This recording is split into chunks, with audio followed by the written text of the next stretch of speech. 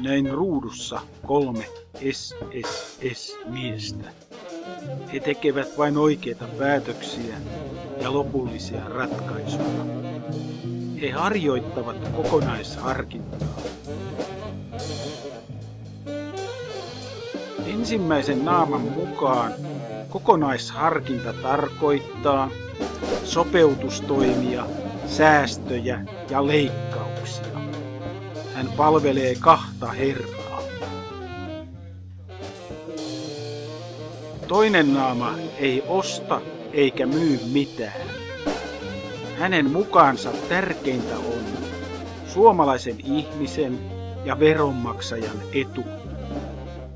Paavin käki munii pienituloisten pesiin. Kolmas naama väittää Suomen olleen unionin ytimessä 20 vuotta isänmaan edun nimissä. Hän on oudon puun hedelmä.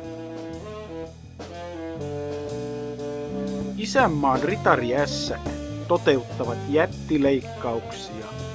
He eivät pelasta heikompia. He pelastavat tämän maan omistajat. Kun vasen käsi ei tiedä, mitä tehdä, oikea ottaa vallan.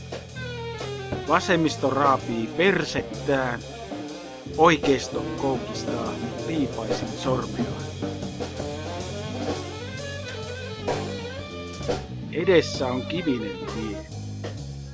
Yhdessä voimme päättää yhä, minne tie vie.